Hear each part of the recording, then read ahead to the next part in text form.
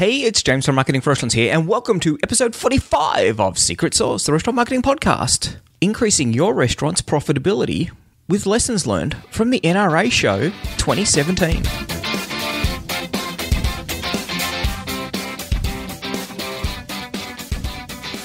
Some restaurants are quiet, lose money, and the owner works 70 hours a week. Other restaurants are busy, profitable, and the owners work a few hours a day. What's the difference? They have a secret sauce. Join James from Marketing for Restaurants as he helps you come up with your recipe for restaurant success. Your secret sauce.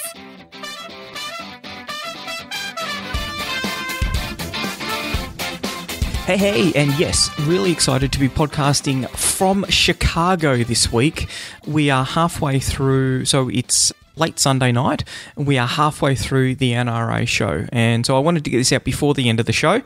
And what I wanted to do is go through some of the lessons that we've already learned from the NRA show. And I think it's a really big opportunity for restaurant owners to be getting out and to get a whole heap of value about ways that they can change their business. And I think back to uh, what Anna Ross said. You know, she started going to those trade shows to be exposed to what it was that other people were doing in the industry. And because the restaurant industry tends to be very uh, insular, this is a perfect opportunity for restaurant owners to get out and about and to see what's actually going on.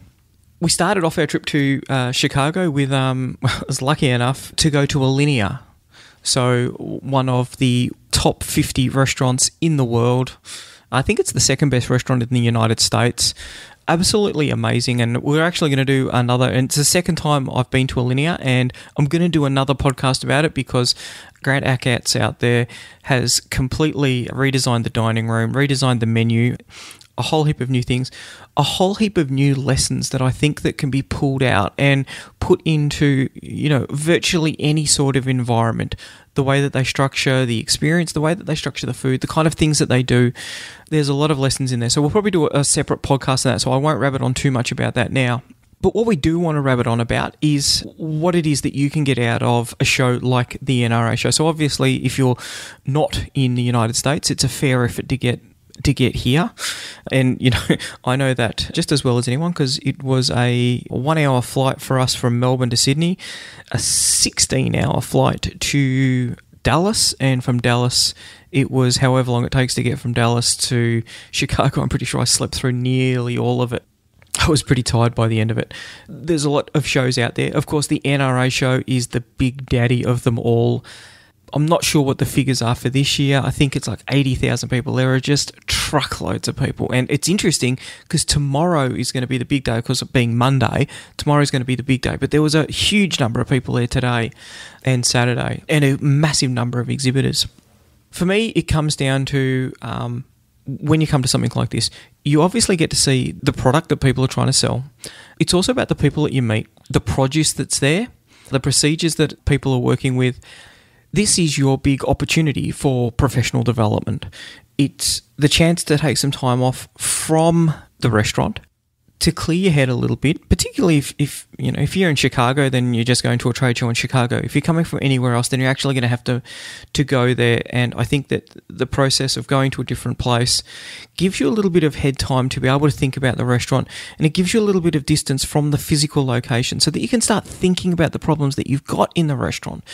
And it's a good idea, I think, to have a list of questions that you've got when you come to a show like this so that you can be looking for answers.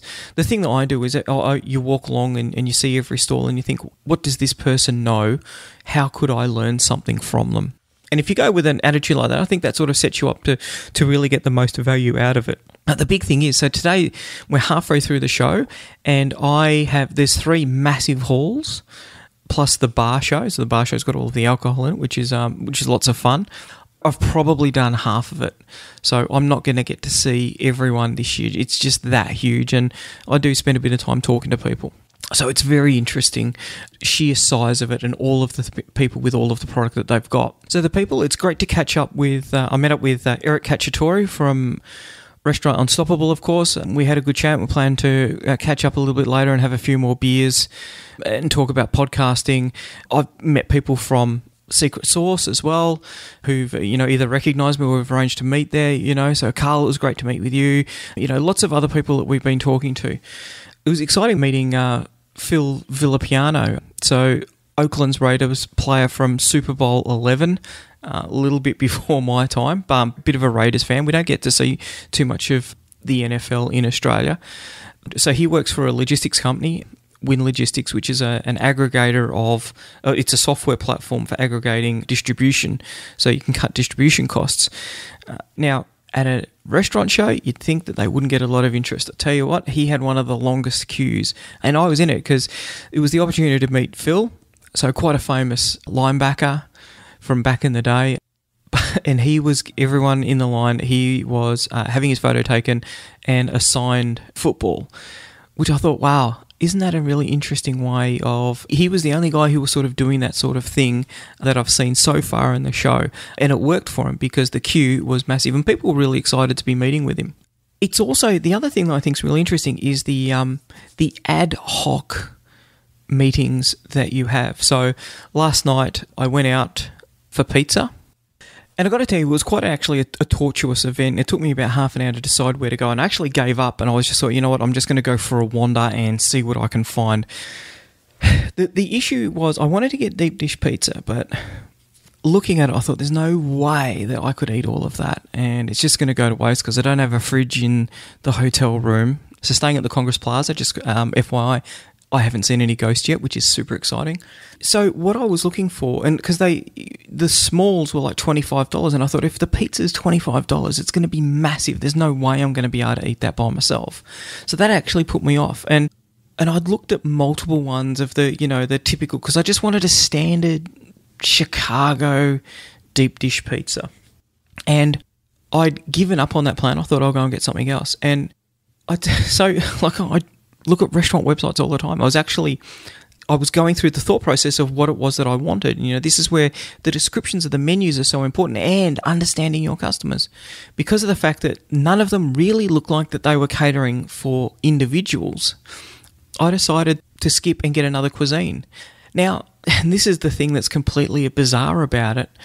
I was walking probably a couple of blocks from the hotel. I still hadn't found anything. It was about 9:30 on a Saturday night, and there was a few places were already closed, and I was starting to get a little bit worried. And I see a guy who is eating pizza, and it's in a pizza box, and it's a very small pizza box. And I'm thinking, wow, that's individual sized. Now, the great thing is, he didn't have a generic pizza box. It had the name of the pizza restaurant on it. It was Giordano's, and I thought, that's it. I'm going there. Had a look on Google Maps, 800 meters away. Bang, I'm in.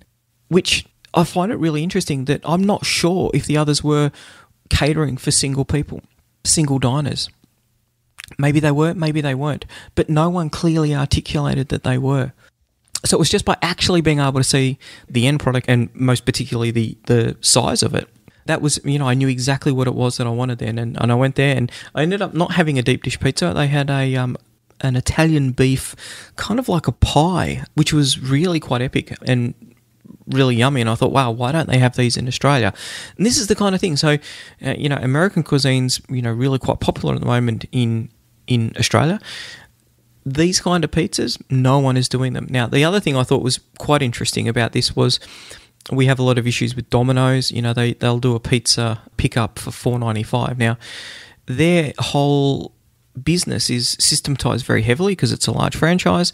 One of the things that they don't do is anything like this. They actually said on the menu it's going to take 20 minutes for our um, team of artisans to to produce this. And I thought, wow, that would be really interesting if you produced this and said it was going to take 20 minutes. I bet it'd be actually quite difficult for Domino's to replicate that because of the fact that everything else is is done on a different timeline. So it might be a product that would actually get around their dominance. And, and it was a really nice, I quite liked it. The interesting thing was, what's the best part about a pie? It's often the crust. They had heaps of that crust there.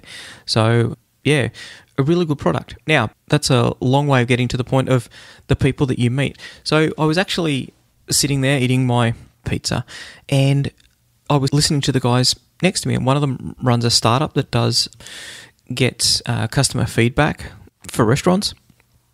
And the other guy was a CFO for a company that owns two fairly large size chains, so 200 restaurants in each of the chains. And so we got talking about the financial metrics, trends within the restaurant industry, and it was really interesting because you don't normally get to p- uh, speak to people like that. Because we talked about, you know, one of the big trends is how, you know, Grubhub is taking all of this margin from restaurants and how it's economically unsustainable. One of the things that we were talking about was so many restaurants, and I know, you know, because our team enter a lot of restaurant menus, so many restaurants will have the exact same takeaway menu as the dine in menu. There's no difference in price, and there's no difference in the product that they've got, which is really interesting because some products don't travel well. And I know that this is one of the things that, that Uber Eats does is they'll actually sit down and work with the restaurants on the menu.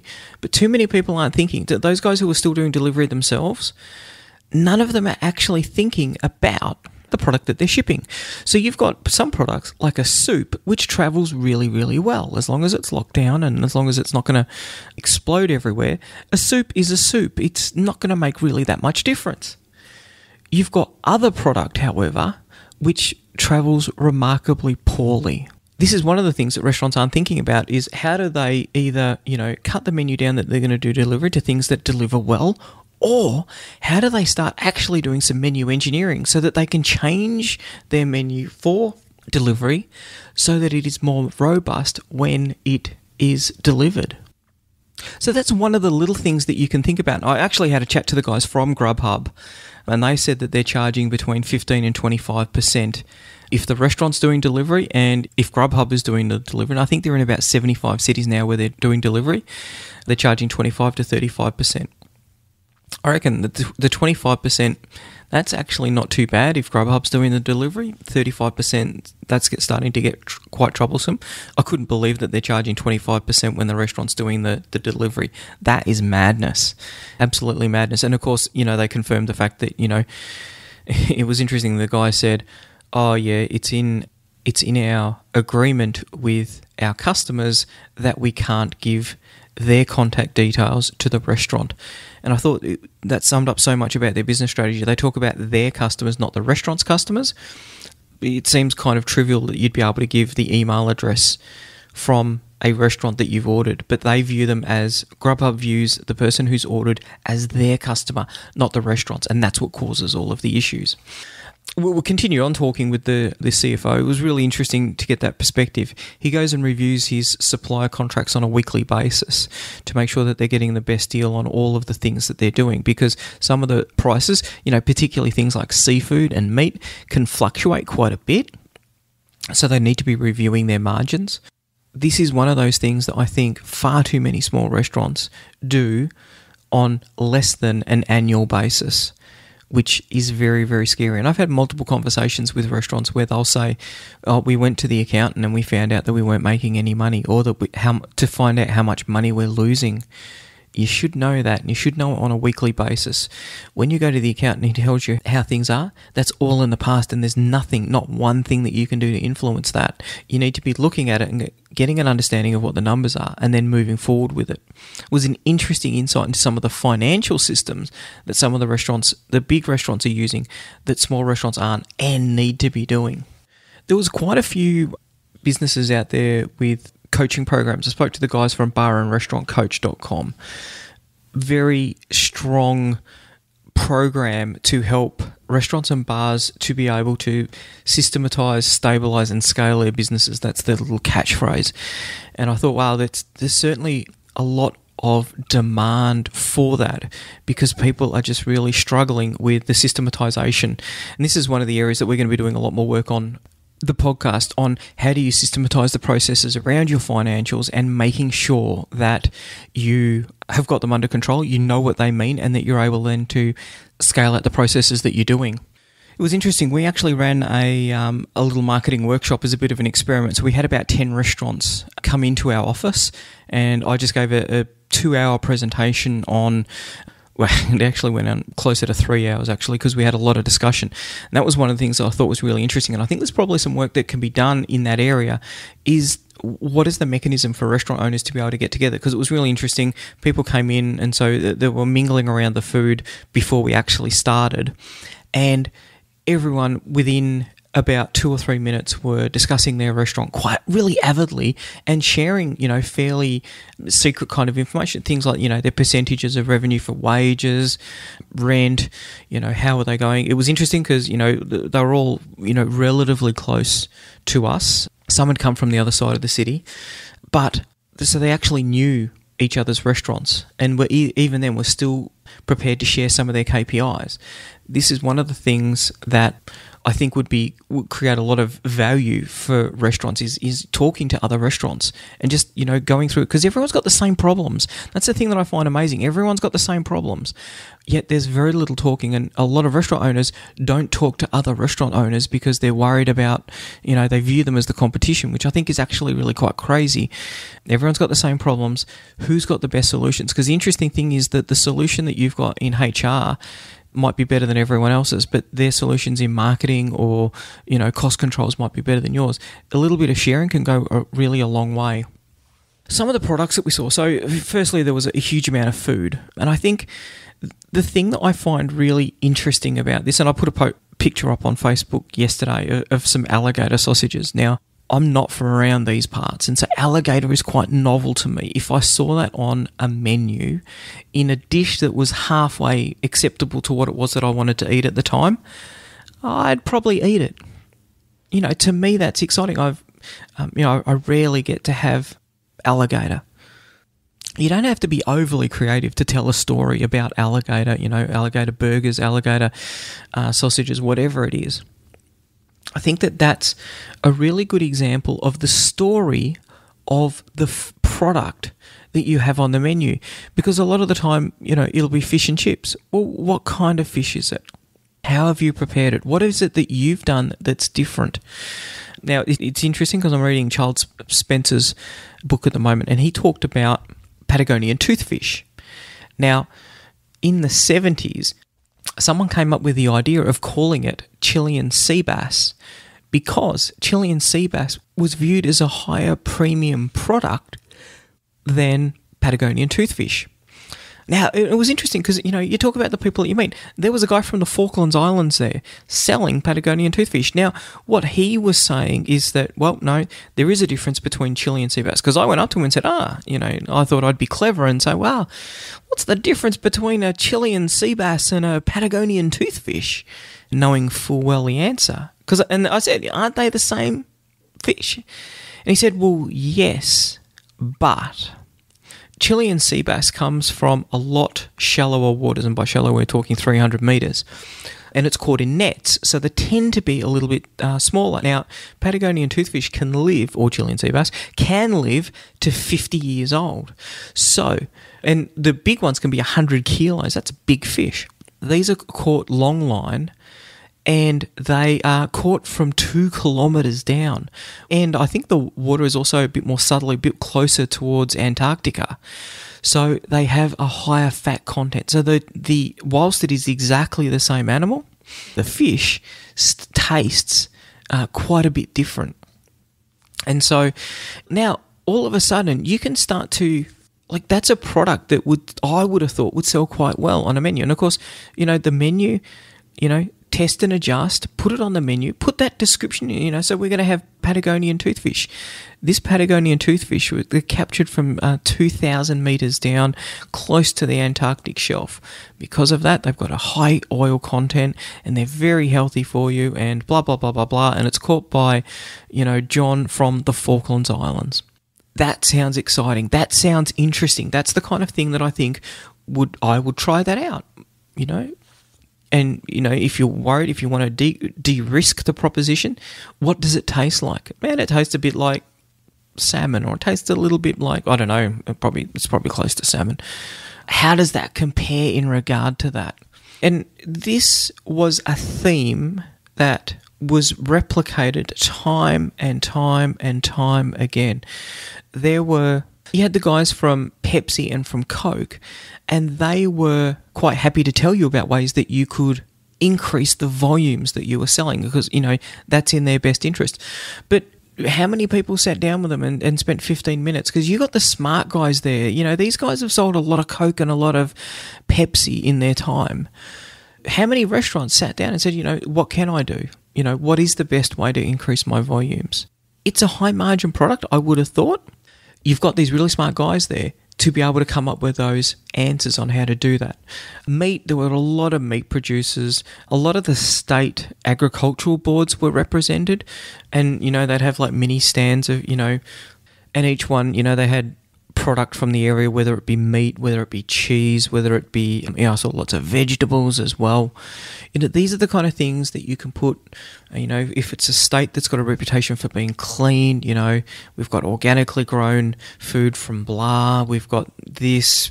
Tell that story. Have that story come out on the menu because this is one of the big reasons that you can charge a higher margin just in that description. So, bringing that back to the Chilean sea bass, Charles Spencer found that you could charge more for Chilean sea bass than you could for Patagonian toothfish. Exact same fish. Now, obviously, now we know that there are some minor differences, but no one actually knew that back in 77 when this was done. But Chilean sea bass, a premium product, perceived to be a premium product, which could command a higher profit margin. So keep that in mind. And this is one of the things I think, you know, a lot of people, I, I was talking to a couple of restaurant owners and they were saying, oh, you know, there's, there's so many people here, we, you know, we've got our suppliers. And it's like, really? You know, do you have the best meat supplier? Because, you know, either you've got someone who spent a lot of time on procurement or you're probably just lazy. Now, you know, it's good to be loyal and all of those sort of things, but you know, you might just want to check prices just to make sure that you're not getting ripped off. You might just want to, you know, see if someone has got a better story. You might want to have a story with a producer and find out that they've got a great story and then go back to your producer and say, What's your story?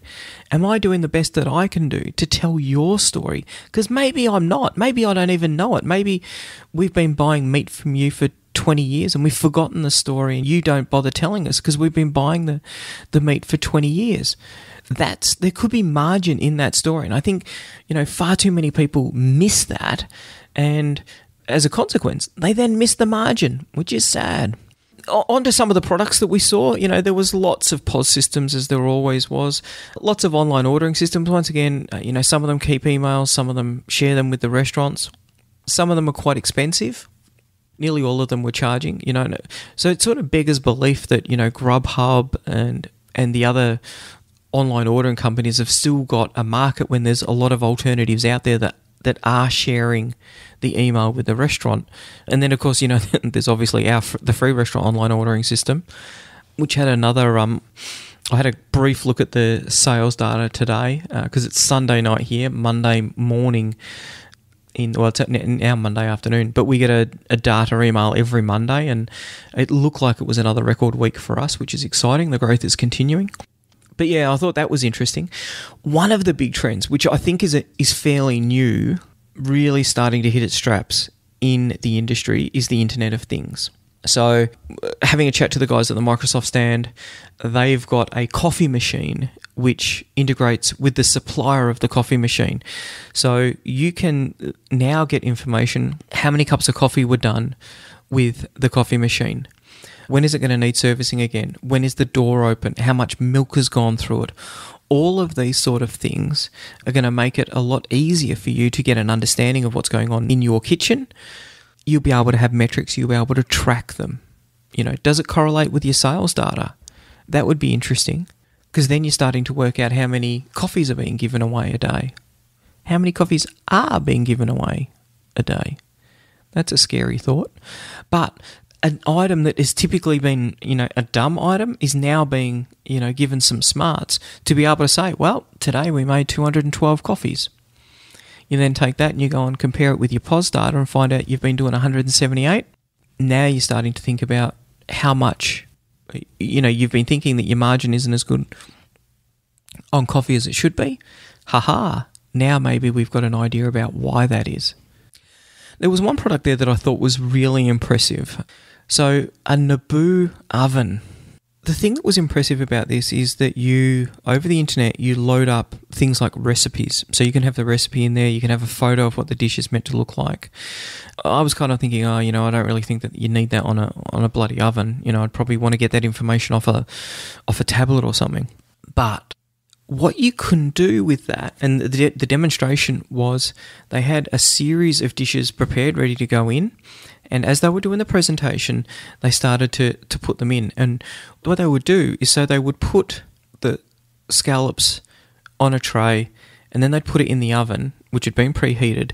And all they did was they grabbed the menu for the scallops and put it on the second tray. There's a little graphical interface on the front of it. So they just sort of like, with their finger, just moved that down onto the second tray. And the oven knew that the scallops need seven minutes. And so a little timer went down. And then, you know, 60 seconds later, they put the croque monsieur in. Now, how long does that take? Because they just moved the recipe down onto that level. And so they ended up with, I think, six or seven dishes in the oven, all with individual times, all being controlled by the oven. And I thought, wow, that's actually pretty sweet because now you've got an ability to get better utilization out of your oven. And I don't know, never been in a kitchen, but how many times has someone taken out something too early and served it up or too late and burnt it? So this is going to save money, get better utilization of the oven and produce a more consistent product for your customers. And I thought, wow, that's pretty cool. And all through a internet enabled oven, which, you know, on the face of it, you go, oh God, that's the last thing we need is another internet enabled device because you know, of course, we all know the bit of the fiasco that came out when the the first one was the fridge, and that was meant to, you know, go out to Amazon and buy milk from them whenever you needed milk. I don't really think that that was a pro- that wasn't right. It wasn't the right product for this.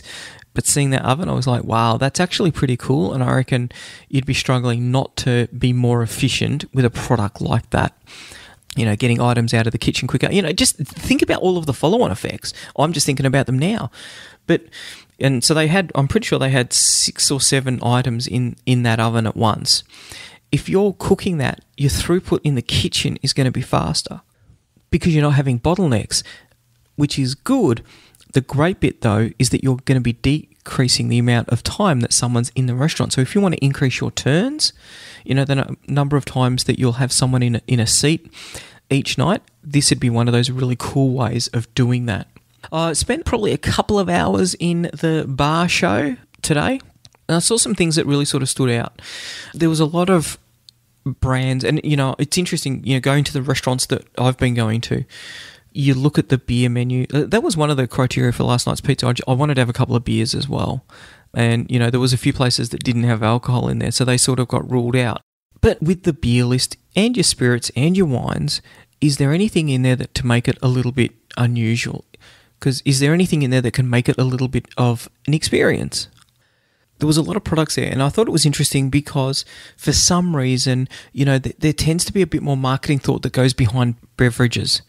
You know, whether it's wine, whether it's spirits, or beer, that there seems to be a, a lot more thought goes into the product. So there was one distillery there and their big push was that you can do away with your imported spirits. So they make a gin, they make a vodka, they make a whole heap of spirits. So now all of your straight spirits, all of your cocktails, you can say that they're made with American spirits. That is a unique selling point that's something that you could say. You know, you could have a big American flag across the bar and saying, we don't have any imported spirits here.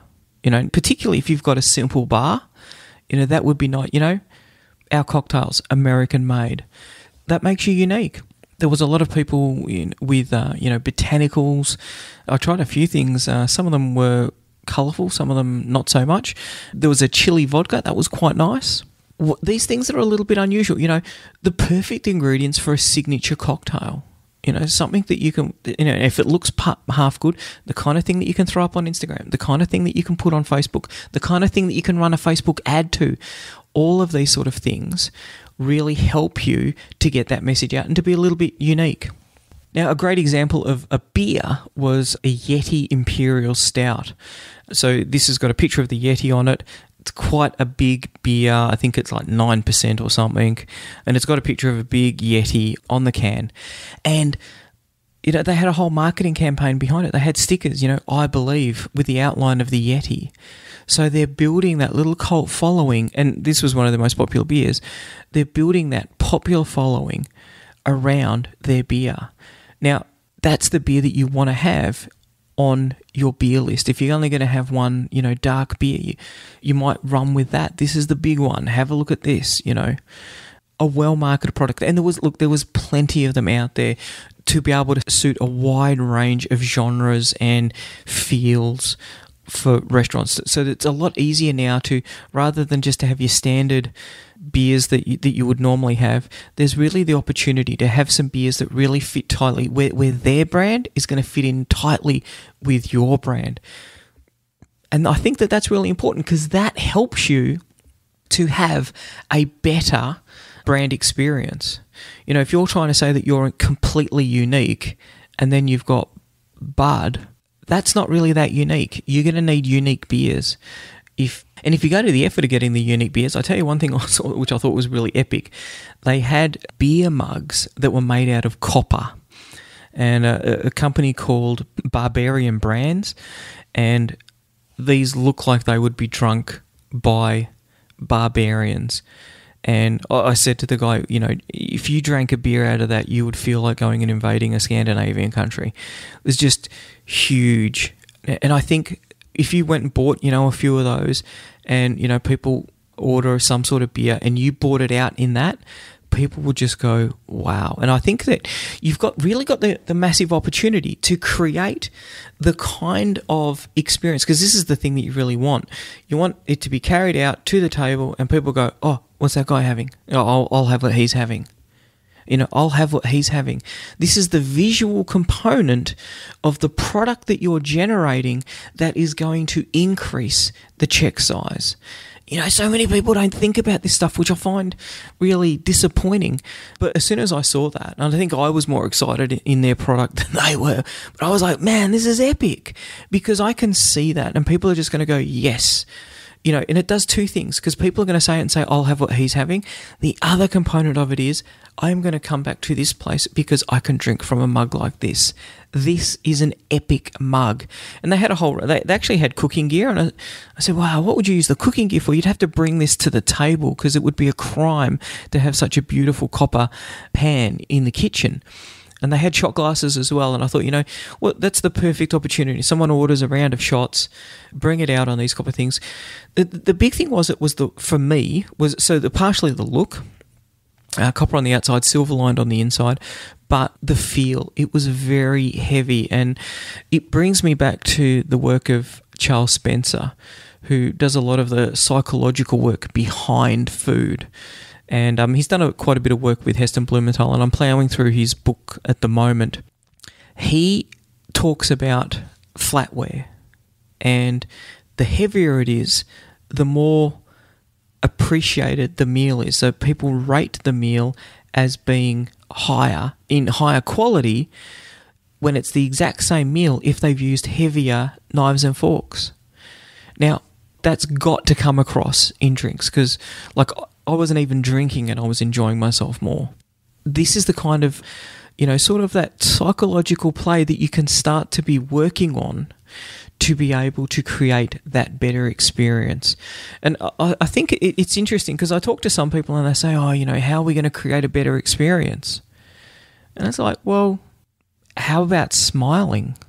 You know, how about getting your front of house staff to smile? You know, I'll, I'll give you a really good example, and this is the thing that I you know, I always say that I'm sick and tired of seeing great restaurants being outmarketed by crappy restaurants.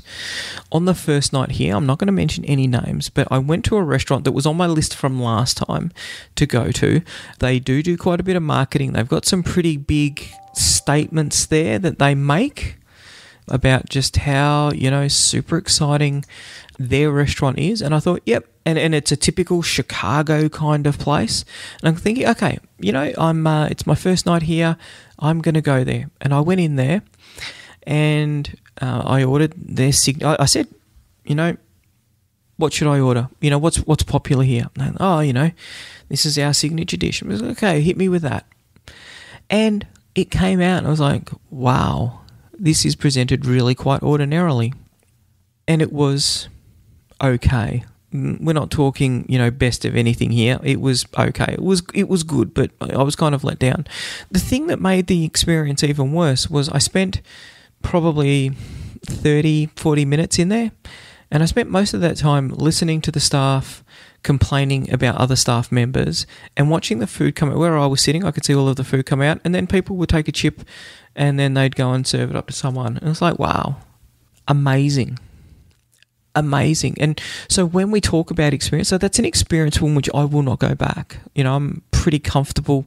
You know, there's places that I love here that I haven't been to because I'm only here for a few days.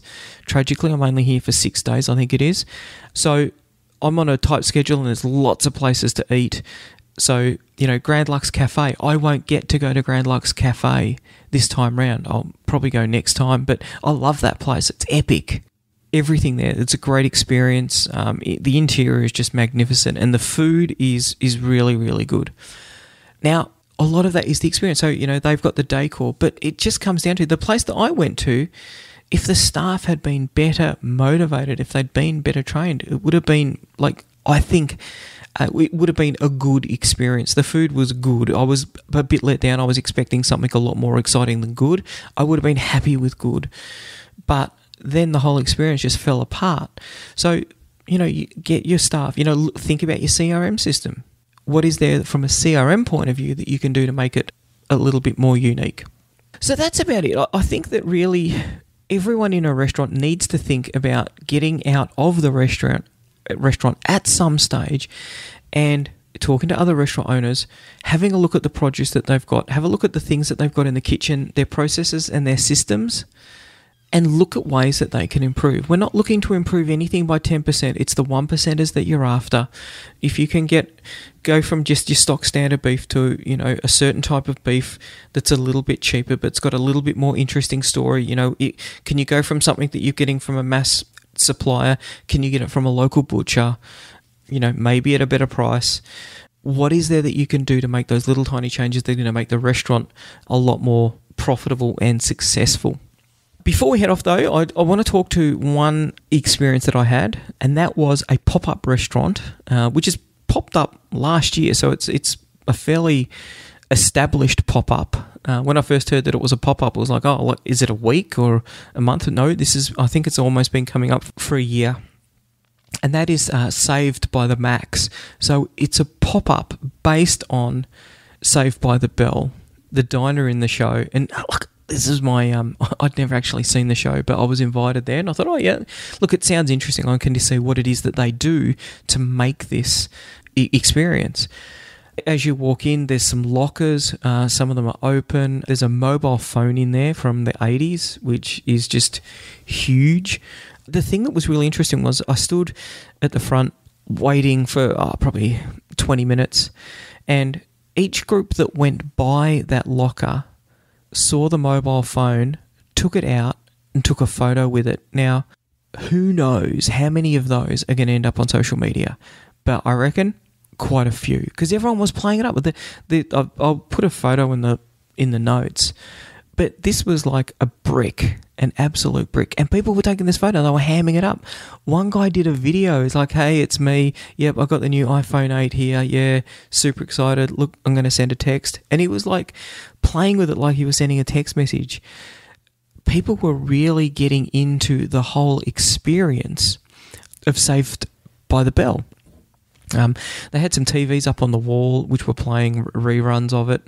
The whole decor was as close as possible to the replica of the Max, the actual diner in the show. There was graffiti around, which was all you know, sort of sort of show specific. And it was interesting because people were in the queue. People were like, "Oh wow, you know what's it going to be like? This is going to be so exciting!" And you know they were reminiscing. The music was, you know, sort of '80s music. People were really excited to be there, and I was pleasantly surprised at just how excited people were to be at this this pop up restaurant, the diner. So it was a Monday night. It wasn't full, but it was not far off it. It was it was almost full. There was only a few when we left. There was only a few empty seats. And you know the interesting thing, we've talked about how excited people are and the, the things that they've done. We haven't even mentioned the food. Haven't mentioned the food. This was about the experience, not about the food. And and the food, we had a lobster roll, which was really nice, um, and the dessert was quite nice as well. They had a menu that had that was based around characters from the show, and they had a cocktail list that was based on you know characters from the show. And yeah, I had a cocktail, um, a whiskey based cocktail. It was really nice. I was quite happy with it. I didn't get the reference to the character, but I'd never seen the show, so you know, it wasn't kind of aimed at me. But I think that this is the really exciting thing. Uh, now, obviously, they had to go and get licensing from the studio that owned the rights to Saved by the Bell. But what an amazing concept! And the fact that the, this pop up has been around for so long, I think you know you'd be looking to see more of this kind of stuff because they weren't selling food; they were selling nostalgia. You know, the experience in it sort of writes itself. So have a think about everything that we've said. If you if you've never been to the NRA show and you can make it, I would definitely recommend heading along. Uh, it's probably going to be next year by the time you listen to this in 2018 it's my must go to event. There are ones in Australia, but they're just so much smaller than this. They've got education sessions, they've got a whole heap of things. And just from a product and menu engineering point of view, so many things, so many people that you can talk to. These are the experts in their products. And the knowledge that they had, you know, I had some really good, interesting conversations with people about the things that they were that they were selling.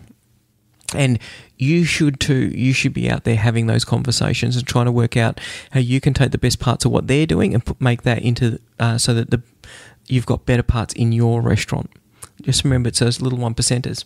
So, and yeah, I'm not expecting for everyone to come up with a TV show from the 80s to create an experience around, but it'd be nice to see a couple of others. Particularly, it'd be nice to see some ones that I watched. So, I'm probably waiting for the A Team pop up. That would be epic you probably the door would probably be the like the side door to the you know the black van with the red racing stripe down the side. Just thinking about it to go, don't don't go spending a fortune on fit out on it, but it sounds like a pretty epic idea. And look, in all seriousness, based on the excitement that was in that room, I think this kind of thing has definitely got legs, whether it's a movie, whether it's, you know, there's a whole heap of things that you could do around this. So that's about it. So um, I hope you learned something from it. Get to a trade show. I think that's really important. Get to a trade show, get out, start talking to some other restaurant owners, and, you know, start using the information that you get in your products that you find to start inc- increasing the profitability in your restaurant. So I'll leave it at that. You have an outstanding day. Bye. Want more customers for your restaurant, cafe, or takeout? Every month, our marketing tools and information are used by thousands of restaurant owners just like you to help them find more customers and turn them into repeat customers. All of our tools and information is designed specifically for restaurant owners. We know you don't have a lot of time to spend marketing or learning complicated procedures, so our tools are quick and easy to use. If you're looking to increase your revenue and profits or want to work less hours, check out marketingforrestaurants.com.